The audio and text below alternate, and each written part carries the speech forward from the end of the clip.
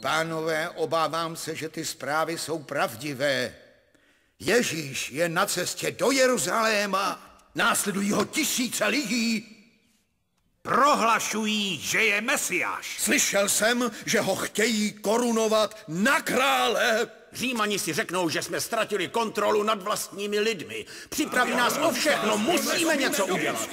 Drahý Kleofáši, myslím, že o tohle bys nerad přišel. Přijeď tak rychle, jak to jen půjde. Zítra ráno odjíždím. Jedu s tebou.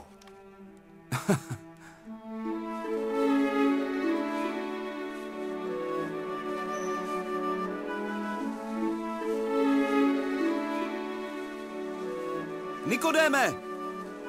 Přijeli jsme jak nejrychleji to šlo. A přijeli jste právě včas. Aleluja,